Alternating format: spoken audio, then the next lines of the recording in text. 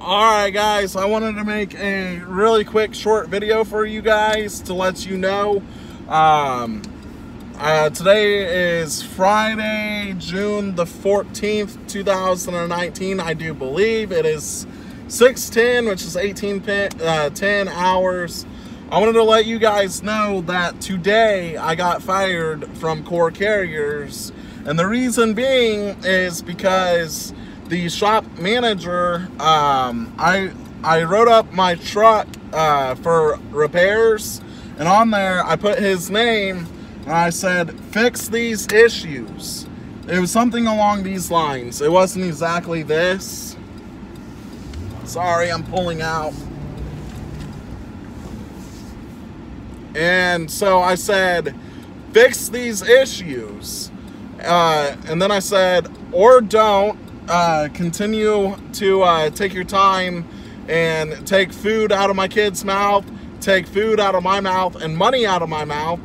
And they got upset with that and they sent it up to corporate and uh, they sent it to the owner and the owner said fire him so I went back down and when I walked in to work today from the hotel um, they immediately put me in an office and talked to me and fired me.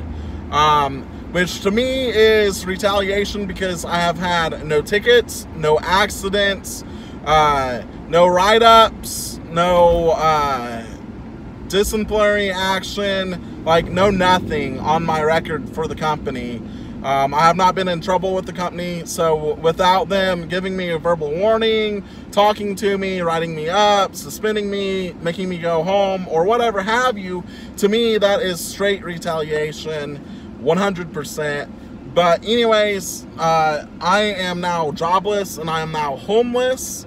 The only thing that I have to my name is this vehicle, and I'm going to be living with friends, uh, couch jumping until I can get a different job or a place to live, or both, um, or literally living out of this car. So, um, YouTube is now going to be slow because I didn't clean out my truck. They cleaned out my truck for me, so I don't know where anything's at.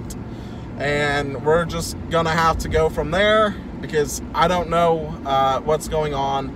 So I just wanted to let you guys know. Um, I hope that you guys can understand and, you know, all that stuff. So I apologize, guys, and thank you for watching today's video, liking, sharing, and subscribing, and understanding my situation. So thank you, guys. You guys are the awesome, best people ever. Awesome, best people.